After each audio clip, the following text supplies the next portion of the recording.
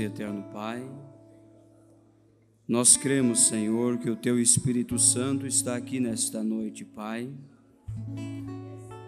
O Senhor tem marcado o encontro com a Tua noiva, Pai. O Senhor tem marcado o encontro com o Teu povo, Pai. E aqui estamos, Senhor, clamando e cantando, Senhor. Venha, Espírito Santo, falar aos nossos corações. E está em nossa alma este DNA de adorador. Ó Deus, e nós queremos te adorar em espírito e em verdade. Nós queremos, Senhor, exaltar o teu santo e precioso nome. O nosso único objetivo aqui, Senhor, é atrair a tua presença no nosso meio. Ó oh Deus, o nosso único objetivo é fazer com que o teu Espírito Santo venha como veio no, no dia do Pentecostes, Senhor, e encha os nossos corações de gozo, de alegria, de paz.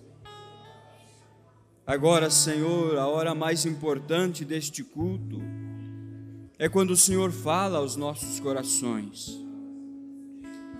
Humildemente nós pedimos, Senhor, usa este humilde servo nas tuas mãos, Pai, para trazer a tua doce e sagrada palavra ao teu, ao teu povo, Senhor, a tua noiva. Fala aos nossos corações, Senhor. Unja os meus lábios, Senhor.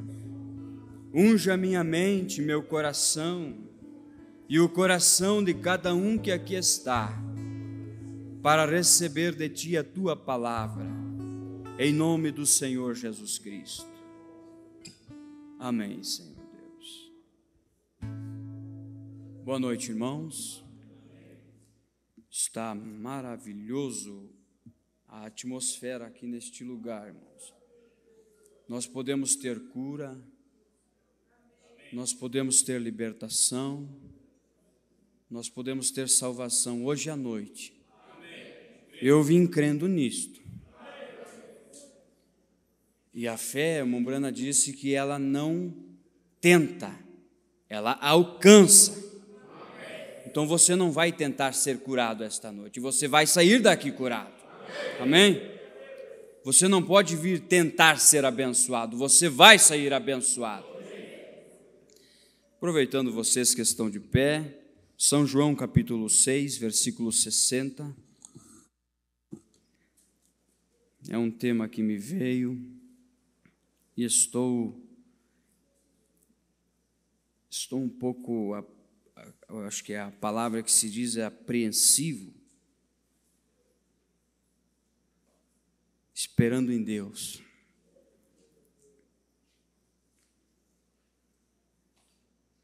Toda a palavra de Deus ela é eficaz, né? Se eu for dar um tema nesta noite, eu quero dar ao lado de Jesus. Mulher falou ontem, eu já estava pensando nisto alguns dias e ele tocou nesse assunto, eu pensei, foi uma confirmação.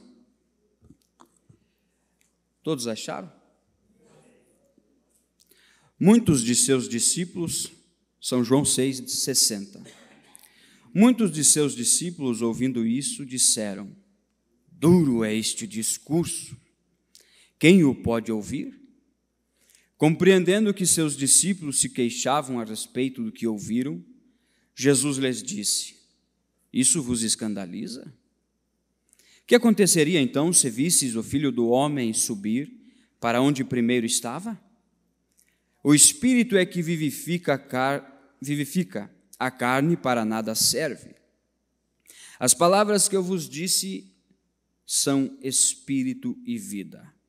Alguns de vós, porém, não creem, pois Jesus sabia desde o princípio quais eram os que não criam e o quem o trairia. Prosseguiu: É por isso que eu vos disse que ninguém pode vir a mim se pelo Pai não lhe for concedido. A partir de então, muitos dos seus discípulos voltaram atrás e já não andavam com ele. Então perguntou Jesus aos doze: Não quereis vós também retirar-vos? Oh, Pedro, glória a Deus pelo Pedro, né? Respondeu-lhe Pedro, Simão Pedro: Senhor, para quem iremos nós?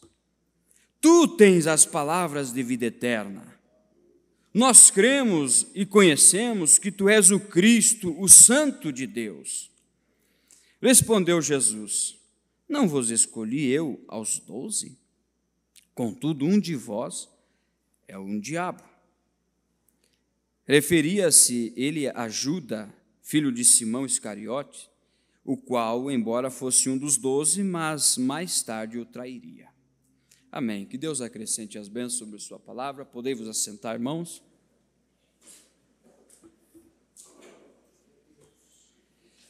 Ao lado de Jesus.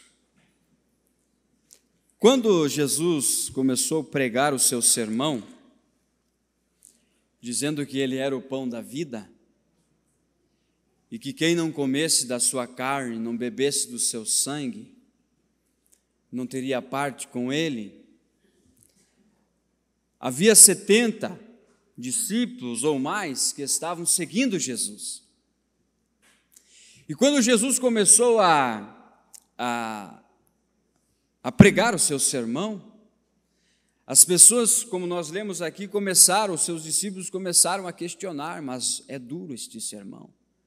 Quem pode seguir este homem?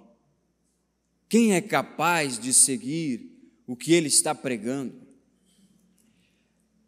Então nós descobrimos aqui que muitos dos, daqueles que estavam seguindo Jesus tiveram que sair em retirada, porque acharam forte o sermão, acharam duro, e realmente é um sermão duro, porque estar ao lado de Jesus é um lado é um lado difícil de se estar. É uma posição que exige responsabilidade.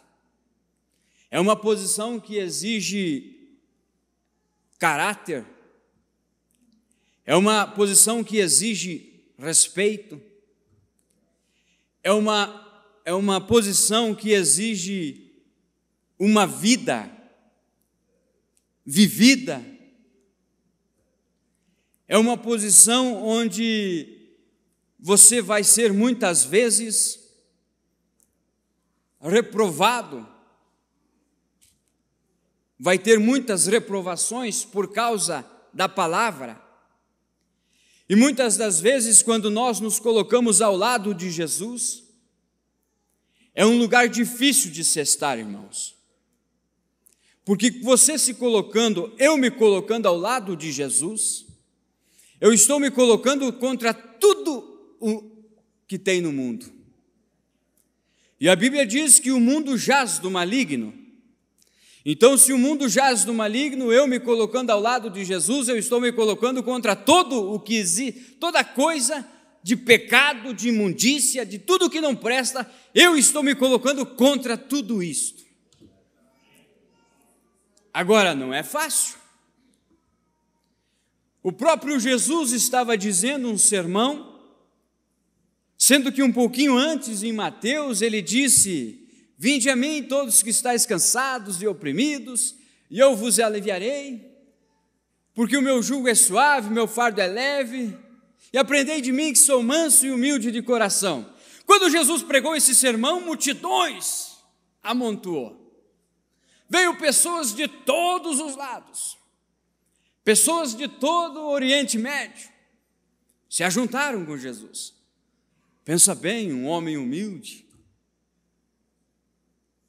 seu fardo é leve, seu jugo é suave. E então Jesus, pregando os seus sermãos, multiplicava pães, e multidões o acompanhavam. Curava os enfermos, e multidões o acompanhavam.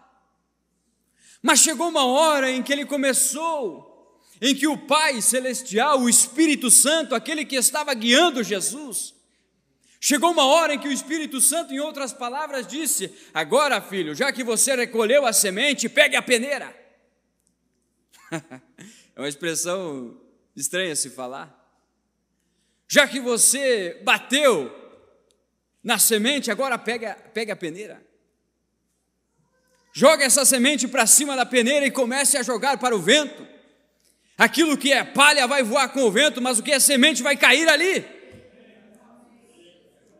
E Jesus começou a jogar a sua peneira para cima, começando com esse sermão. Quem não comer do, do, da minha carne, não beber do meu sangue, não tem parte comigo, em outras palavras. E ali a gente já começa a ver que havia umas palhazinhas que estavam junto com aquelas sementes. E que quando Jesus falava, quando Jesus pregava e jogava aquela, aquela peneira para cima, aquelas sementinhas para cima, tudo aquilo que era palha, tudo aquilo que era farisaísmo, tudo aquilo que era saduçaísmo, tudo aquilo que não prestava começou a se distanciar de Jesus. Poucos ficaram do lado de Jesus. E depois de Jesus ter pregado este sermão, Jesus ainda olha para os seus discípulos, olha a ousadia, é como se 90% dessa igreja, enquanto eu estiver pregando, saísse e fosse embora murmurando. E apenas ficasse só 12 aqui. Eu estou dando uma comparação que a Bíblia fala. Apenas 12 pessoas. E eu olhasse para essas pessoas e dissesse: Não querem algum de vocês ir também? Mas eu tenho certeza que em 105 mil pessoas que há em Erechim, há um pequeno grupo aqui que está dizendo: Mas para onde iremos nós, Senhor? Se só tu tens palavras de vida eterna. 105 mil pessoas em Erechim e nós não temos 1% de pessoas que creem na palavra, que creem na mensagem, mas ainda tem um pequeno grupo que ainda pode dizer. Amém? Amém? E ao lado de Jesus, nós, quando você se coloca ao lado de Jesus, você se está se colocando ao lado da verdade. Porque Deus é a palavra, conforme São João 1, capítulo 1. No princípio era o verbo, o que é verbo? O verbo é palavra. No princípio era o verbo, o verbo estava com Deus e o verbo era Deus. No versículo 14 você vai ver, e o verbo se fez carne e habitou entre nós. Então o verbo era a palavra, e a palavra hoje é Deus. E quando você se coloca ao lado desta palavra, você está se colocando ao lado da verdade. Não é verdade, irmãos? Certo? Porque Jesus disse: Eu sou o caminho, a verdade e a vida. Então, você se colocando do lado de Jesus, você está se colocando do lado da verdade. E você, quando você se coloca, eu me coloco do lado da verdade, o irmão Branda vem e diz que você se colocando do lado da verdade, a verdade te colocará em problemas. Claro que te colocará em problemas. Colocou todos os discípulos de Jesus em problemas. No momento em que Pedro se colocou do lado de Jesus, a primeira coisa que aconteceu, ele ficou do lado da verdade. E o que, que fizeram com ele? Prenderam ele. E quando questionaram Pedro, ele disse: Bom, o que vamos fazer? Vamos fazer conhecido o meu nome ou o nome de Jesus? É claro, e com certeza eu irei testemunhar e testificar do nome do Senhor Jesus Cristo. Vocês podem me prender em cadeias, vocês podem fazer isso e aquilo, mas eu continuarei do lado desta palavra, do lado de Jesus Cristo. E a verdade te colocará em problemas. A verdade te deixará só, ou melhor, você se colocando do lado de Jesus, você ficará sozinho. Você perderá amigos, assim chamados amigos.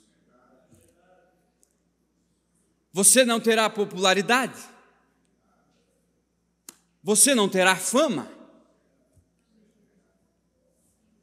Você não será um homem popular. Você não será uma mulher popular.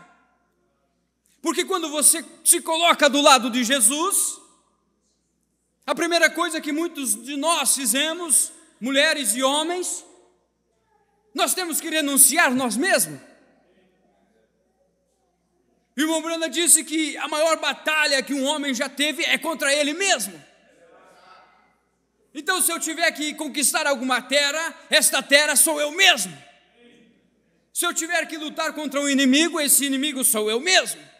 E aí o Mumbranda vem e diz: e quando você conseguir conquistar você mesmo, você conquistou a Deus. E o que é conquistar a, a, a mim mesmo? Vou entrar um pouquinho aqui.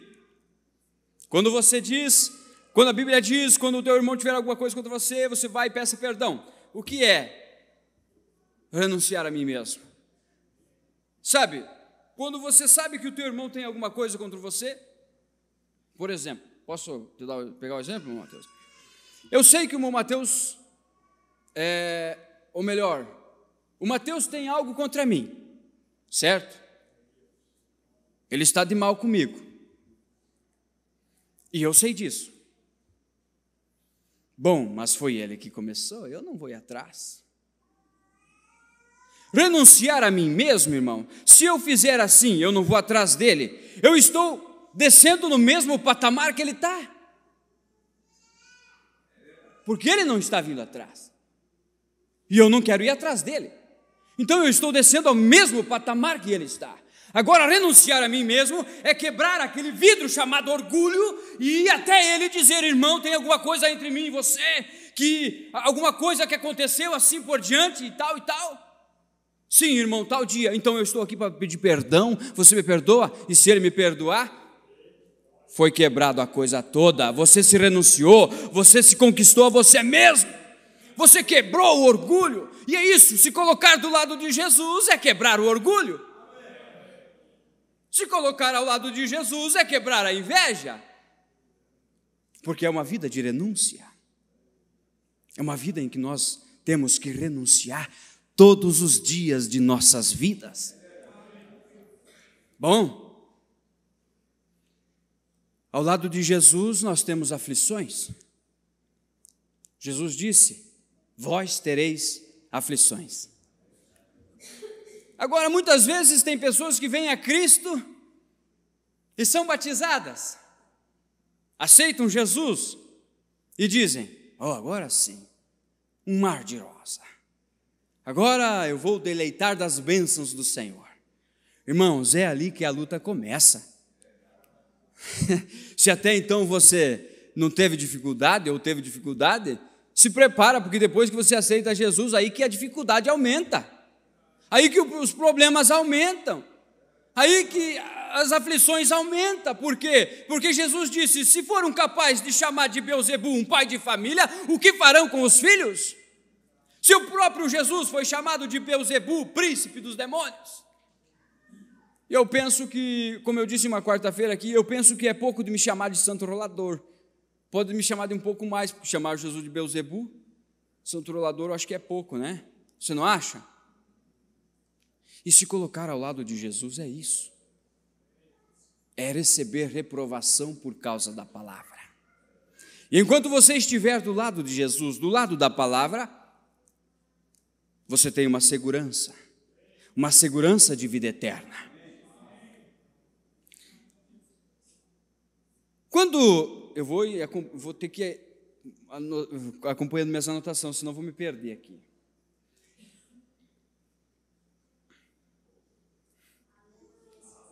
Eu quero fazer uma pergunta aqui, irmãos. Quando foi o dia em que você se colocou do lado de Jesus?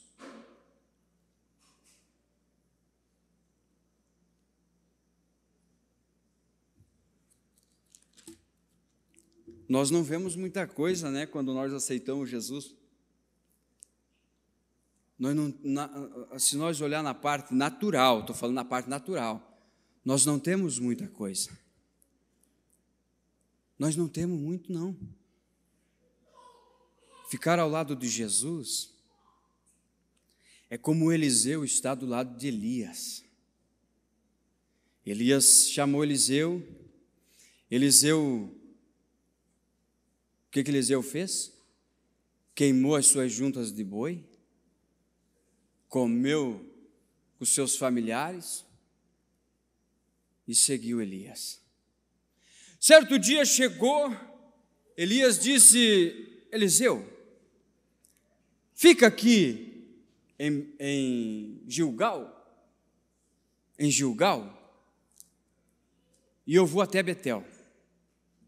O que, que Eliseu disse? Vive o Senhor, vive a tua alma, eu não te deixarei. Mas fica aí, Eliseu. Olha só, os profetas aí, pode ser teus colegas, pode ser teus amigos. Fica aí, Eliseu. Não. Eliseu tinha um propósito e no momento em que ele foi chamado, ele se pôs ao lado de Elias. E ele não perderia aquela oportunidade por nada. Então chegaram em Betel, lá vieram os, os profetas a Eliseu e disseram: Você sabe que o Senhor vai arrebatar o, o, o, o teu o profeta, o teu, o teu profeta, o teu Senhor.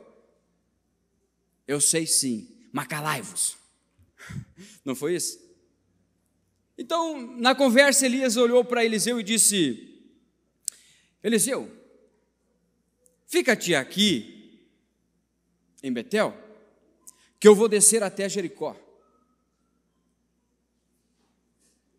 O que, que Eliseu disse?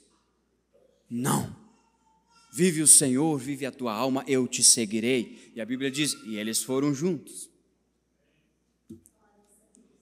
Chegando em Jericó, mesma cena se apresenta. Os profetas vêm, interrogam o Eliseu. Você sabe que o Senhor vai elevar o teu, teu profeta, e assim por diante. Eu sei disso, mas calai-vos. Chegando lá, Elias disse: Eliseu, fica aqui em Jericó e eu vou até o Rio Jordão. Não, vive o Senhor, eu não te deixarei. Se colocar ao lado de Jesus, irmãos, é esta mensagem que nós estamos seguindo. É o Eliseu seguindo Elias. Precisa ser batizado para perdão dos pecados? Sim. Eu não te deixarei, eu te seguirei.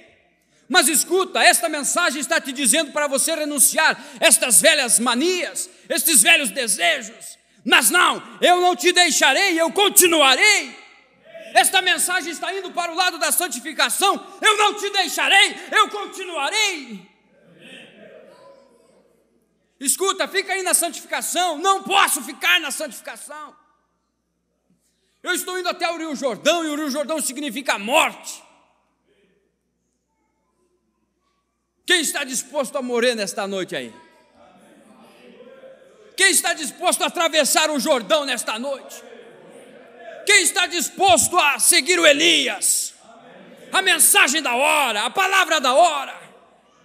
É isto, se colocar ao lado de Jesus é enfrentar a morte, é enfrentar os problemas, é enfrentar as dificuldades e enfrentar até a morte se for preciso. Fica aí, Eliseu. Fica aí, Ariel. Não posso. Eu tenho que encher essa casa. Essa casa não pode ficar vazia eu deixei tudo os meus desejos, eu deixei tudo aquilo, os pensamentos zerados, as minhas atitudes zeradas, ficou tudo para trás, agora a casa está vazia. E o que, a Bíblia diz? Que o espírito que estava naquela casa sai e anda por lugares áridos, e ele não encontra nenhuma casa, e quando volta, e vê a casa vazia, bonita, limpa e adornada, então ele traz contigo, consigo mais sete. E o estado daquela pessoa é oito vezes pior do que o primeiro. Então eu não posso deixar Eliseu, Elias, eu não posso te deixar, eu tenho que ir contigo. Eliseu tinha um propósito, ele queimou as pontes.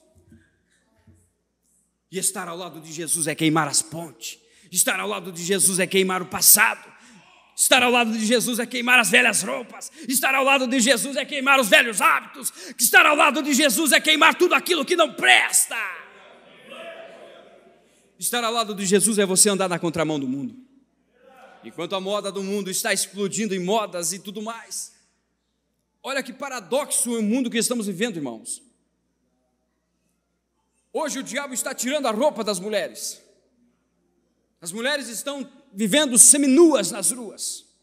Irmão Brana chega a dizer: oh, nós estamos vivendo em um tempo em que estamos tendo stripteases ao público. Agora, estar do lado de Jesus é uma irmã, uma mulher que mantém o seu cabelo comprido, que mantém suas vestes corretas na presença do Deus vivo. Isto é estar do lado de Jesus. Estar do lado de Jesus é morrer morrer para mim mesmo, morrer para você mesmo. Estar do lado de Jesus é me humilhar, é se humilhar, é dizer: Deus, eu não posso, mas eu sei que tu podes. Eu não consigo, mas eu sei que tu consegue. Eu não dou conta, mas eu sei que tu dá conta. Agora, nós podemos estar do lado do presidente, nós podemos estar do lado de qualquer homem popular no mundo, mas quando chegarmos lá naquele caixão, nenhum homem popular, general de exército, presidente da república, pode dar uma segurança de vida eterna como este Deus, que está do nosso lado, pode nos dar a segurança de vida eterna. Ó, oh, eu sou secretário do general do Estado, eu sou secretário do presidente, ah, eu sou o embaixador de Jesus Cristo. Você é o embaixador de Jesus Cristo. Você acha que ser secretário de presidente da República é algo importante? Para o mundo é, mas para quem está do lado de Jesus, não. Ô oh, Billy, Billy Graham, que perguntaram para Billy Graham, você quer ser presidente? Você daria um bom presidente, Billy Graham. Billy Graham olhou para aquela pessoa e disse: Eu não me rebaixaria a esse nível. Glória a Deus! Eu não posso me rebaixar a qualquer nível. Ah, tu é filho de Deus? Eu sou. Então faça com essas pedras se transforme em pão. Tu quer saber o que está escrito? Eu estou do lado da palavra. E a palavra diz: nem só de pão viverá o homem, mas sim de toda a palavra que sai da boca de Deus eu estou do lado da palavra, eu estou comendo alimento puro, como nós falávamos ontem no fim do culto, nós não nos alimentamos de alimento híbrido. O que é uma semente híbrida? Ela é mais bonita que a original, se você olhar. Bem mais bonita, bem mais maior, mais grande, mais viçosa. Mas no momento em que você plantar aquela semente híbrida, ela vai dar flor, ela vai dar o talo, ela vai dar tudo o que a semente original dá, menos a semente. Ela não consegue produzir. Agora você pode pegar aquela sementinha velhinha, toda enrugadinha, e plantar na terra. Ela vai dar o talo, ela vai dar a flor, ela vai dar a folha, mas na hora da colheita ela vai dar uma espiga cheia de semente original. O crente manufaturado, ele vai chegar, dar o tal, ele vai dar flor, ele vai dar folha, mas ele não vai ter vida ali para produzir. Agora, o genuíno que está caminhando do lado desta palavra, eu tenho certeza que na época da colheita, Jesus virá com seu ceifeiro, e então ele vai ter, ele vai ter uma semente original para apresentar. Não, eu não estou me alimentando de alimento híbrido, não. Eu estou comendo maná direto do céu, o pão vivo. Aquele que não comer da minha carne, não beber do meu sangue, não tem parte comigo. Esta palavra é o pão vivo para as nossas vidas. Aí Eliseu, fica em Jericó, eu vou a Jordão. Não, eu vou contigo. Fica aí, igreja. Não, eu quero receber o Espírito Santo, eu quero chegar lá, eu quero avançar. Ó oh, Elias, eu vou contigo. Ó oh, mensagem, eu estou contigo. Fica aí, Ariel. Fica aí Jericó. Não, não posso ficar, eu tenho que ir contigo. E chegando lá no Jordão, Elias lança a capa, todos sabem, o Jordão se abre, eles atravessam. O que acontece? Elias pede para Eliseu, me pede alguma coisa, Eliseu. Oh, eu quero a porção dobrada do teu espírito. Eu estou aqui nesta noite para pedir a porção dobrada do Espírito Santo. Eu não sairei daqui sem a porção dobrada do Espírito Santo. Dura coisa me pedis, Eliseu. Mas se tu vires, aqui é o ponto principal. Mas se tu vires, você terá o que pediu. Você está atento para ver o mover do Espírito Santo? Porque se tu vires, tu verá, tu terá o que pediu. Você veio buscar cura? Veio buscar libertação? Veio buscar perdão para a tua alma? Se tu ficares atento, você terá o que pediu. Mas não perca isto. Nós vemos que temos um outro homem que se pôs ao lado de Jesus, chamado Paulo. Antes ele era um Saulo. E quando ele se pôs ao lado de Jesus, o que aconteceu com ele? Antes ele era um Saulo, ele apedrejava a igreja do Senhor, ele perseguia a igreja do Senhor, ele andava pelos caminhos, ele era sincero naquilo que ele cria. Estava sendo sincero naquilo que ele cria, naquilo que ele foi ensinado. Só que aquilo que ele foi ensinado foi perseguir os cristãos, aqueles que não estavam conforme as regras que ele tinha aprendido de Gamaliel, era morto, era preso. Mas um dia ele se encontra com Jesus, no caminho de Damasco. E lá ele resolve ficar ao lado de Jesus. Oh, lugarzinho difícil para Paulo ficar. Ao chegar na cidade que ele tinha passado, o homem que apedrejava agora estava sendo apedrejado. Ficar ao lado de Jesus, irmãos, é quando 400 profetas estão profetizando a mesma coisa. Mas tem um Micaías ali que está dizendo: Não, eu só direi o que o Senhor me disser, eu só farei o que o Senhor me disser. Vocês estão captando, irmãos? O que eu quero dizer? Que o tempo em que estamos vivendo não é tempo de nós estarmos mais brincando com a coisa de Deus, é tempo de nós nos colocarmos do lado desta palavra e fazer o que ela diz para fazer. Não é tempo mais de nós estar olhando aqui, olhando lá, nós temos que olhar para o alvo, o autor e consumador da nossa fé. O irmão Lutero disse aqui no começo do culto: vamos unir a nossa fé, vamos unir o nosso espírito. Ontem o meu marido disse uma coisa sobre união também.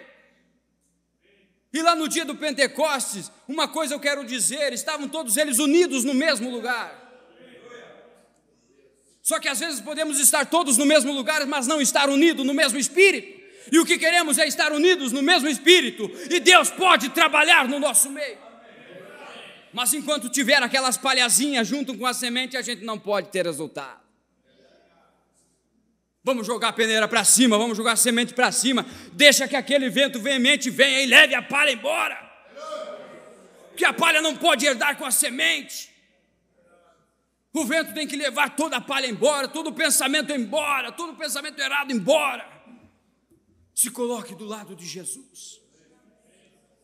E se colocando do lado de Jesus, oh, Paulo, por 20 anos da sua vida foi preso por cadeias o próprio profeta Ágabo profetizou, tirou o cinturão, aquele cinto que Paulo tinha ao redor, e disse: Este homem, quando chegar em tal cidade, ele será preso, e dito é feito, assim como ele disse, aconteceu. Paulo foi preso por algemas.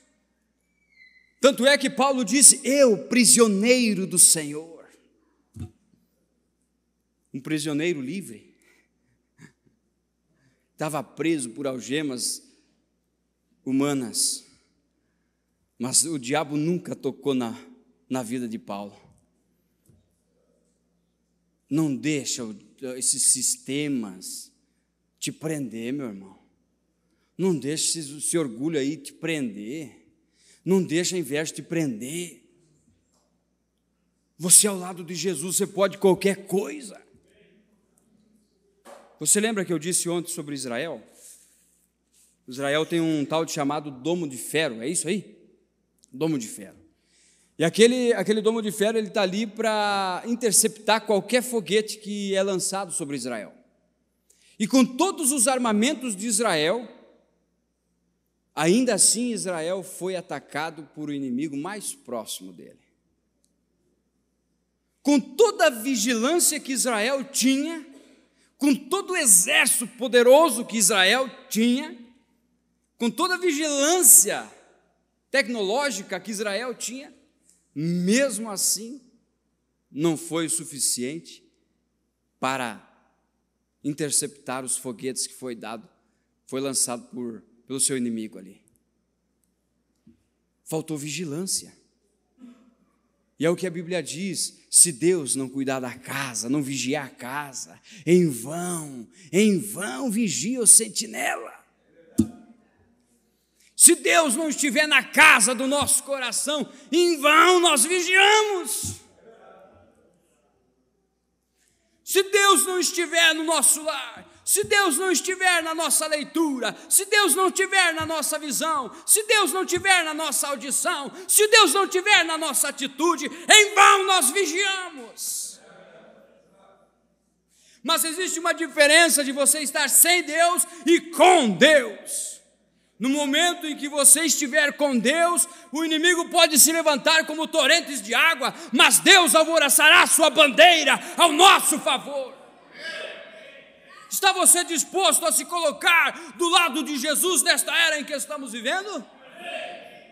Quantos aqui estão dispostos a se colocar do lado de Jesus?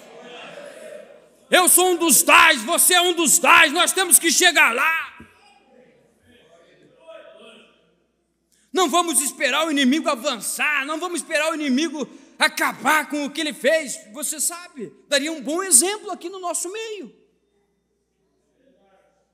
Vamos deixar desse jeito para que Hamas, vamos usar o nome, venha e acabe com nossa felicidade, porque você perdeu um filho, você sabe como é que é. Vocês viram aquelas crianças? Vocês viram as pessoas mortas? Ali existe um verdadeiro exemplo do diabo. Ali, desculpe a expressão, ali sim é o verdadeiro diabo trabalhando naquelas pessoas. Quem teria coragem numa dessa, irmãos? E é o diabo que faz isto. No momento em que nós relaxamos na vigilância, na oração. Quando vem aquele foguetinho lá, arranca cerca, e, e você sabe, eles não escolhem pessoa, irmão. Não querem saber se tem idade, é criança, é adulto, é jovem, é velho. E a morte é a mesma coisa. Ela não escolhe. Ela vem. E se nós não vigiarmos, daqui a um pouco o nosso inimigo mais próximo. Quem que é o inimigo mais próximo?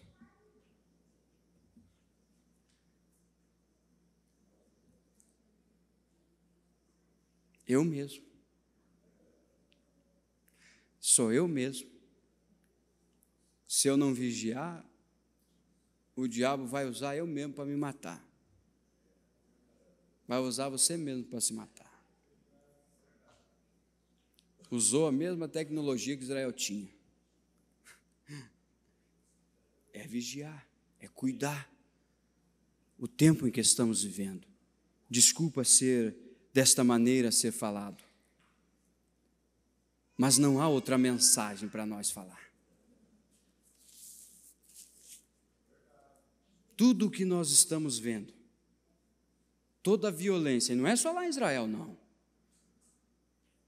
Provérbios diz que more mais gente em tempo de paz do que em tempo de guerra. E ele diz mais que a sabedoria do homem leva o homem à morte. Você pode me perguntar como a sabedoria do homem pode levar o homem à morte? O carro que o homem fez, morrem mais pessoas em acidentes do que na guerra. Hoje nós estamos o que? Me ajudem a lembrar aí, é o 14 dia que Israel está em guerra? Ou 13 terceiro? Sexto? 16 sexto dia. Morreu 6 mil e... Eu, eu fui ver ontem, ontem. Vamos dizer que morreu 6 mil pessoas. Você sabe quantas pessoas morrem por dia só em acidentes, só aqui no Brasil? Alguém saberia me dizer? Só aqui no Brasil. Isto eu vi há 10 anos atrás, essa informação. 3.800 pessoas por dia. Fora os assassinatos, fora a, a falta de negligência dos, dos hospitais e muito mais. A sabedoria do homem está levando o homem à morte. E se nós daqui a um pouco começar a usar a nossa sabedoria para trazer uma mensagem que possa dizer continua assim que está bom, vai gerar muito mais morte. Muito mais morte. Eu não vou pregar isso porque isso pode ser que aconteça isso e aquilo. Irmão, não foi isso que Paulo disse a Timóteo. Paulo disse a Timóteo: vai e pregue a palavra fora de tempo, a tempo e a fora de tempo. Repreenda, ensina com longanimidade, com amor, com mansidão, com temperança, mas ensina, Timóteo, porque virá tempos em que não suportarão a sã doutrina e amontoarão para si mestres e doutores, e terão comissões nos ouvidos. Sabe o que quer dizer comissão, irmão? É, eu menti, tá? Um exemplo. Eu vou falar um exemplo, senão daqui um pouco vou pensar que eu menti mesmo. Eu menti. Então, eu vou lá e digo, ah, é o seguinte. Ou nem confesso, né? Apenas menti. Aí o meu pastor vai dizer, não, uma mentirinha só, não foi nada, não vai, não vai acontecer nada. Na verdade, não foi uma mentira. foi uma verdade mal formulada. Não. Mombrana diz que mentirinha, mentirona, mentira, não existe tamanho, é pecado, irmão. A pregação de, de, de, da serpente para Eva tinha 99,9% de verdade ali, apenas 1% de mentira, e aquilo trouxe o que trouxe hoje.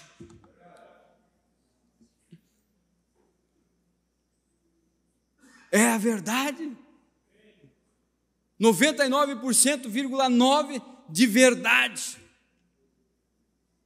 E foi o que trouxe o caos, aquele 1%. 1, não sei alguma coisa por cento. Então mentira é mentira. Pecado é pecado. É tudo igual diante de Deus. Eu sou mais santo que o irmão Mateus. Eu vivo melhor, eu não minto, eu não furto, eu não roubo, eu não adultero, eu faço isso, faço aquilo. Eu sou melhor que ele. Me diga uma coisa, irmãos. Quando Jesus veio na terra, aquela mulher a samaritana, a pecadora, e a Maria, mãe de Jesus. Se nós olhássemos com o olho natural, nós viria uma prostituta, uma pecadora, uma mulher de má fama, e do outro lado teria a mãe de Jesus, uma mulher, uma mulher que viveu totalmente na lei e que foi a mãe de Jesus, e que se ela não fosse digna de ser, o anjo não teria se apresentado a ela mãe de Jesus. Do outro lado, nós vemos uma prostituta, uma pecadora, que na lei era, vocês sabem. Agora, quando ela se encontra com Jesus, ao sair, vamos dizer assim, ao sair da igreja de Jesus, ao sair do sermão de Jesus, da campanha de Jesus, ela saiu tão pura quanto Maria. Tão pura quanto Maria era. Por quê? Porque Deus não faz acepção de pessoa. Ele colocou Maria Madalena, Maria, mãe de Jesus, e Maria Madalena, a qual era uma prostituta, que Deus expulsou os sete demônios dela, sobre o mesmo patamar, sobre a mesma condição, sobre o mesmo processo sobre o mesmo sangue. É por isso que o Mombrana vem e diz: muitos é, por tribulações e lutas, por dificuldades, outros por duras provas, mas todos nós pelo sangue de Jesus Cristo. e é se colocando do lado desse Jesus Cristo que um dia nós podemos enfrentar a morte assim como Paulo enfrentou. Todo aquele tempo ao lado de Jesus, todo aquele tempo ao lado de Jesus, pregando o Evangelho, anunciando as boas novas, estando ali, mesmo sendo apedrejado, mesmo sendo preso.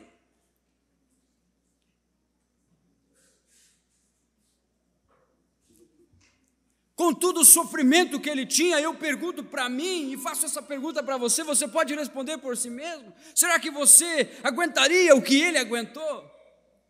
Será que eu aguentaria ser preso, apedrejado, humilhado?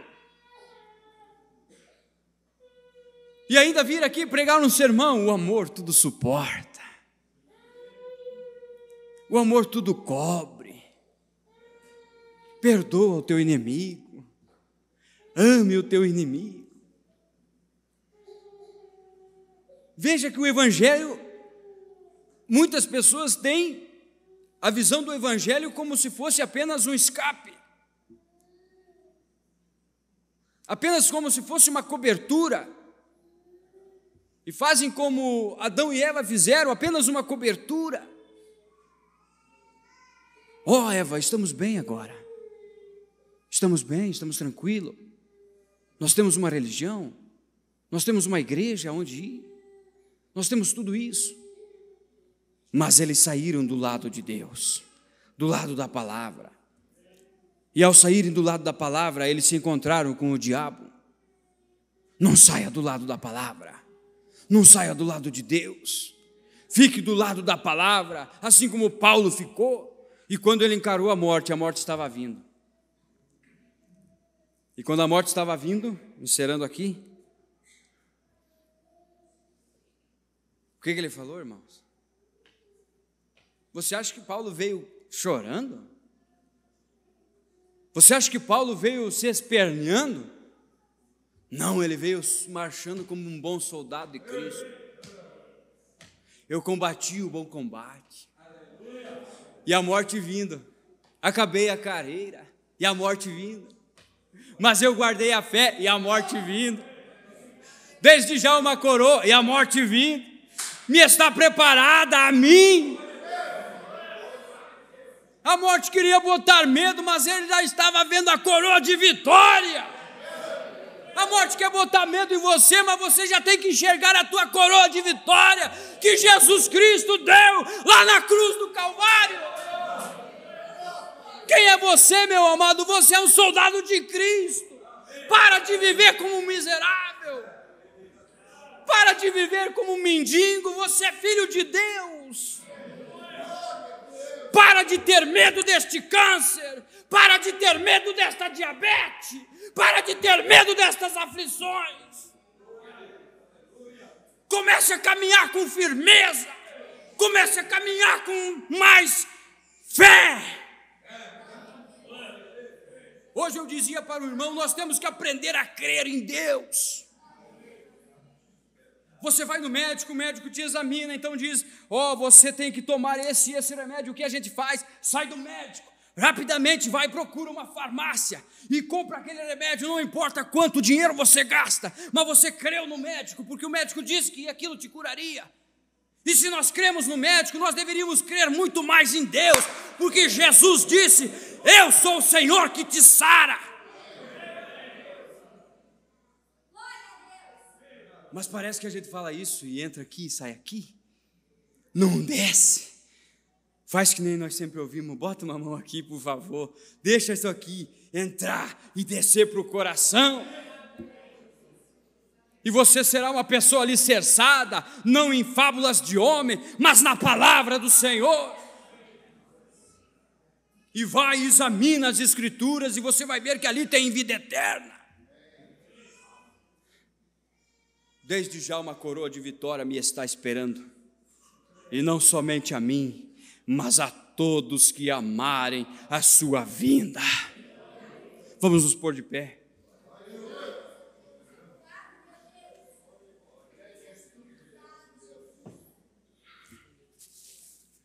Você já viu quem você é, irmão Mauri? Você caminha na rua, você está no teu trabalho, qualquer um de nós aqui. Nós estamos representando Jesus Cristo. Será que Jesus andava assim? É, hoje minha vida está um caos. Nem sei se vou na igreja hoje. Nem, nem sei se vou pregar aquele sermão hoje. Não sei se devo ir. Não. Jesus estava sempre de pé, caminhando. Jesus fazia milagre até dormindo, irmão. Uma vez no, no barquinho, vocês sabem, estavam dormindo lá, Jesus estava dormindo lá, e os discípulos começaram, e agora, Jesus, nós vamos morrer. O diabo se levantou, as ondas estão sucumbindo o barco. Vai Pedro lá e dá um chacoalhão em Jesus. Jesus levanta, oh, homens de pequena fé. Porque vocês mesmos não fizeram isto? Eu não dei autoridade para vocês? E veio Mombrana e disse: O que vocês viram no meu ministério, isto virá em porção dobrada sobre a noiva, sobre Cristo. Nós estamos aqui não para se rebaixar, nós estamos para caminhar para frente, ter a unção dobrada. Nós queremos a unção dobrada do Espírito. Mas muitas vezes nós damos ouvidos àquela voz, fica em Gilgal, fica em Jericó, e a pessoa fica em Jericó. Mas siga adiante, siga seguindo Elias, a mensagem da hora. Pare de dar ouvido ao ego, pare de dar ouvido à razão, dê ouvido ao Senhor Jesus Cristo.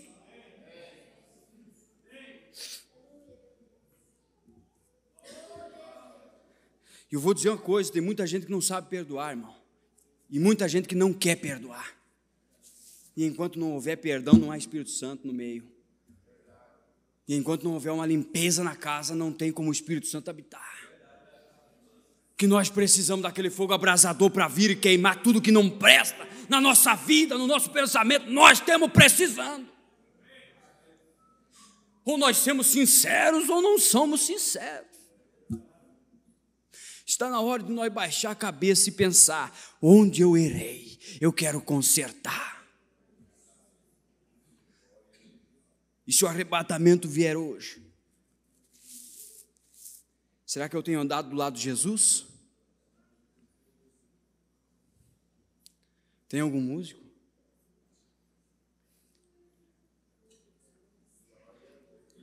Incline sua fronte, nós vamos Não vou manter vocês de pé.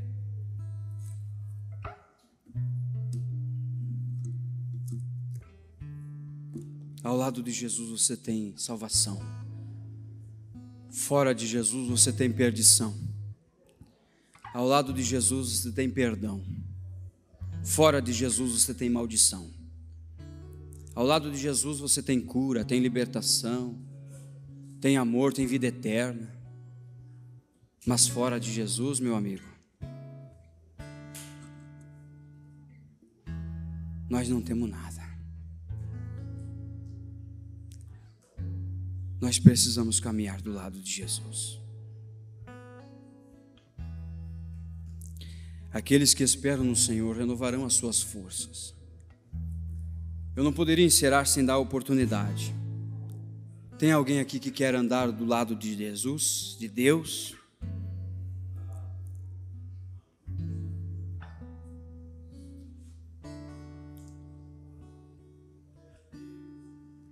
Você não gosta do pregador, ouça Deus pelo menos.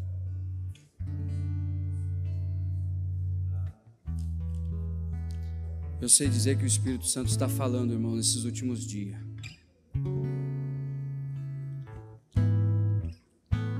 Deus nunca faria alguma coisa, reuniria alguém aqui como vocês, se Ele não tivesse algo para falar.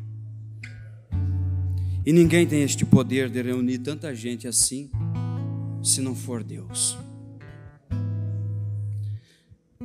Mas ninguém conhece o homem a não ser o espírito do homem mesmo. Você sabe muito bem se você está de bem com Deus ou não. Se você tem caminhado ao seu lado ou não. Senhor Deus e eterno Pai,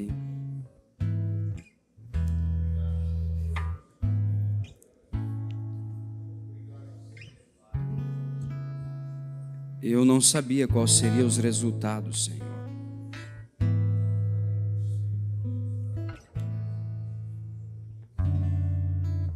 Mas meu único pedido foi, Senhor, que o Senhor falasse aos nossos corações. Porque eu também sou necessitado, Pai. Ó oh Deus, eu quero que o Senhor segure a minha mão. Não me deixe cair em tentação, Senhor. Eu não quero nem uma raiz de amargura me segurando naquele dia, Senhor. Deus, eu não quero nada me segurando naquele dia. Eu quero entrar com liberdade na tua presença. Ajuda teu povo, Senhor. Ajuda a tua igreja. Ajuda teus filhos, Senhor. E aquilo que nós não conseguimos vencer, venha com teu doce espírito vencer em mim, vencer em nós lutar em nós, Senhor. Ajude a tua igreja, Pai. Tudo o que pedimos, Senhor.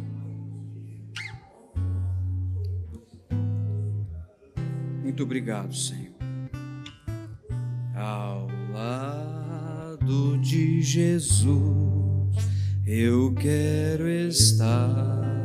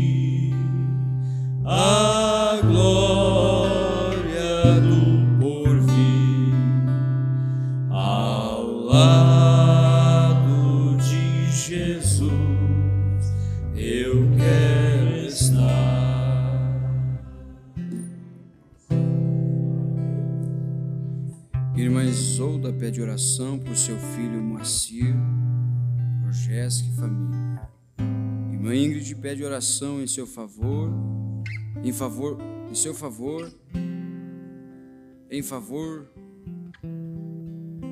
pelo irmão Milton e por sua família.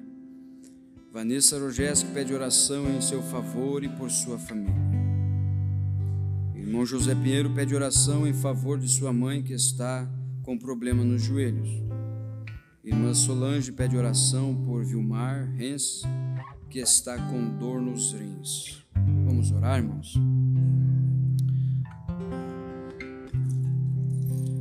Senhor Deus e eterno Pai, aqui estão estes pedidos de oração, Senhor.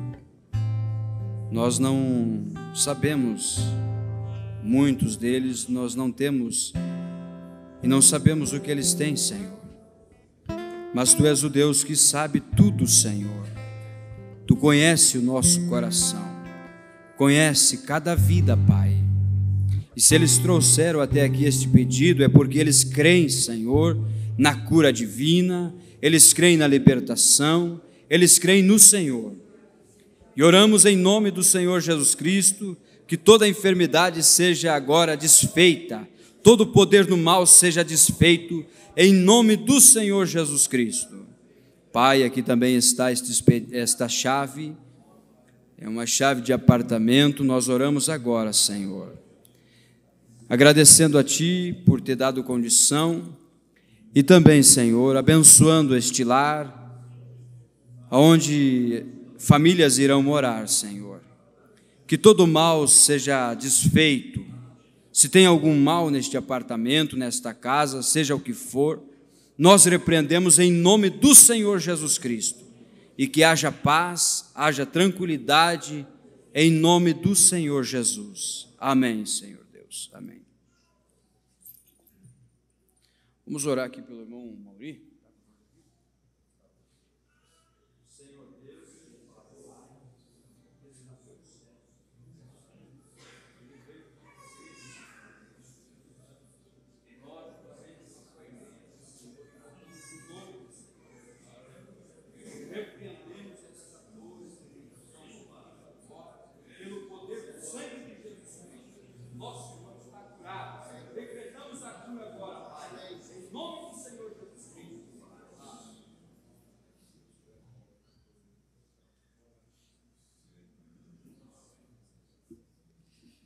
Temos um testemunho aqui, depois daí estaremos despedidos.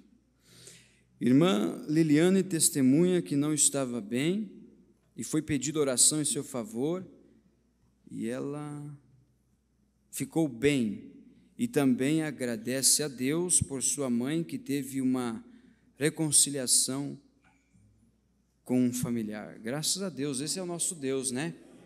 Esse Deus é maravilhoso, ele está nos abençoando a cada dia. Você crê nisso? Olha os resultados, né? Se você está aí é porque Ele está te abençoando. Amém? Que Deus abençoe, irmãos. Eu acredito que final de semana que vem o pastor Davi estará por aqui. E amanhã teremos culto de consagração, né? Então venha. Orar não quer demais é só mais poder, né? Quanto mais oração, mais poder. Deus abençoe a cada um.